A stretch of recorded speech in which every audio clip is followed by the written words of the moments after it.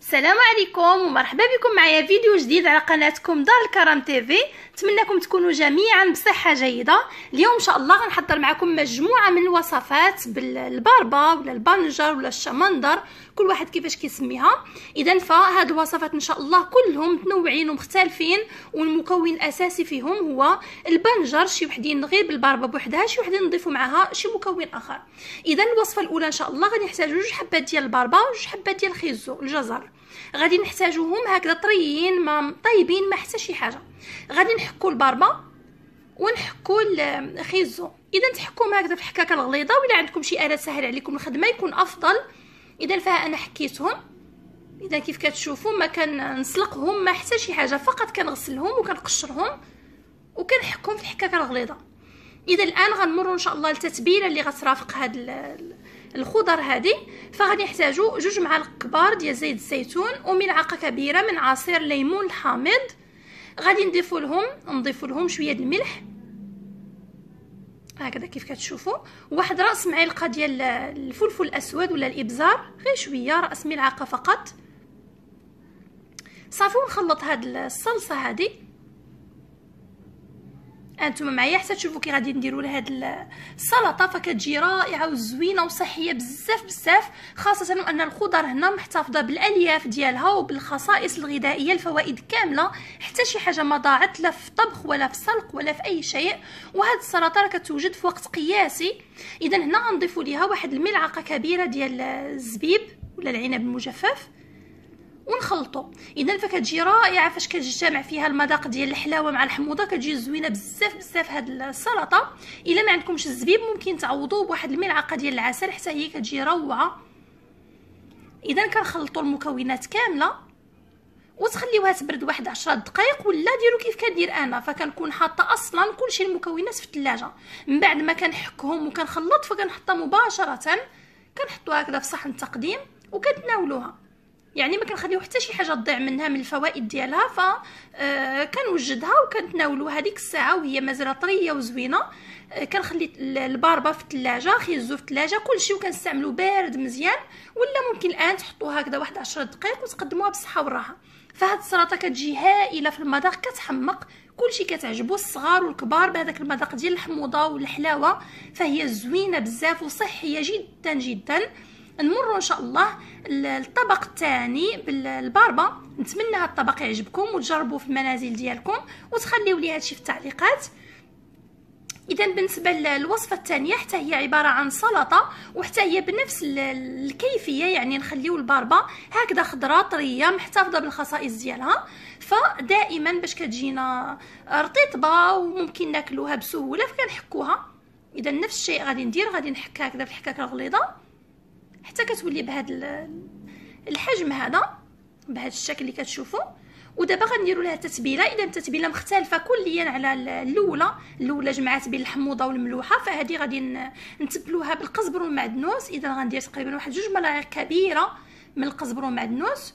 وغنديروا فيها الثومه ها نتوما كتشوفوا كنعصر فوقها هكذا الثومه كنحط دوك جوج معالق ديال القزبر ومعدنوس واحد العصير ديال نصف ليمونة حامضة كنعصرو فوقها. إذا الحامضة راه ما عنديش كبيرة عندي غير صغيرة شوية يعني النصف كامل النصف كامل عصرته. ودرت الملح حسب الكمية اللي عندكم ديال الباربه أنا درت ربعة الحبات ديال الباربه درت رأس ملعقة ديال الإبزار ودرت شوية الكمون. وآخر شيء واحد الملعقة كبيرة من زيت الزيتون. كنخلط كل هالمكونات فهاد الباربه حتى هي كتجي محمضة زوينة رائعة. اذا المذاق ديالها زوين ورائع ومختلف على الأولى. الأولى كيف شفتوا جمعنا فيها بين الملح وبين الحامض. وهذه كتجي هكذا بالثومه والقزبر والمعدنوس وزويتة بلدية والحامض. فكتجي روعة زوينة بزاف بزاف. ونفس الشيء دائما طريقتي هي انني كنكون الباربه حطاها آه، قبل في الثلاجة يعني كنديرها باردة. فغير كنوجد وكنخليها واحد شوية دجان صغيره هكذا جوج دقائق ثلاثة ممكن تخليوها حتى ل 10 دقائق في الثلاجة وتستعملوها هكذا تحطوها مع الأطباق ديالكم فكتجي رائعة. إذا نمروا إن شاء الله للوصفة الثالثة. فهاد الوصفة غادي تكون حتى هي صحية جدا. إذا عندي فيها الجزر مع الباربه وغنزيدوا لهم واحد التفاحة وحدة. فالطريقة هي أنني آه، حتى شي حاجة ما ما كنطيبها. كنخلي خيزو كيف ما هو والباربه حتى هي كيف ما هي والتفاح ما كنحيدش القشرة. التفاح كنخليه بالقشرة ديالو. ها نتوما غادي تشوفوا معايا. كنغسل كل المكونات مزيان مزيان. كنقشر الباربه وخيزو ونقطعهم هكذا إلى قطع. ماشي مسلوقين ما حتى شي حاجة. نيئين خضرين عاديين طريين. إذا فاش كنقطعهم كناخذ حتى التفاح كنحيدوا له هذيك الزريعة وداكشي اللي لداخل هكذا البذور ديالو وكنقطعوا القطع وكنجمع كلشي في ال mixeur. هانتوما غتشوفوا واحد العصير رائع بمثابة détox للجسم راه لذيذ وزوين كيحماقوا عليه الوليدات. هانتوما غادي تشوفوا معايا. وفي نفس الوقت صحي ومفيد. يعني إلا شربتو غير كويس من هذا العصير راه بحال كليتي وجبة متكاملة فيها الخضر وفيها الفواكه. عندي هنا واحد جوج حبات ديال الليمون برتقال. فكنقشرهم وكنحيد لهم هذاك اللب الوسطاني الابيض باش ما كيجينيش مر وكنحطهم بحال هكذا وكنضيف لهم الماء. الماء تقريبا ضفت واحد لتر ديال الماء. وكنديروا السكر اللي يحلي لينا اللي عنده العسل ما يخربش هاد المكونات بالسكر الابيض فيدير العسل ولا ديروا التمر ولا الزبيب اللي بغيتو. اذا فأنا درت غير شوية السكر ودرت التمر يعني باش تجي شوية الحلاوه طبيعية. ممكن أنكم تحليو بالزبيب بالتمر بالعسل باللي بغيتو واللي ما عندوش يدير السكر اذا فها من بعد ما طحنتو دورت كلشي في ال mixeur. ها نتوما غادي تشوفوا الكثافة ديالو كيفاش كيجي؟ كيجي بحال هكذا عاقد وزوين رائع. وخاصة أنني درت الماء بارد مزيان مزيان من الثلاجة والمكونات كلهم كانوا في الثلاجة باردين ومنعشين. فغي كنطحنو كنقدمو مباشرة ما كنخليش نهائيا في الثلاجة. هذا العصير هذا إلا بغيتو تستافدوا منه كثر وحتى المذاق يجيكم لذيذ زوين بزاف بزاف ما تخليوش نهائيا. غير طحنوه شربوه.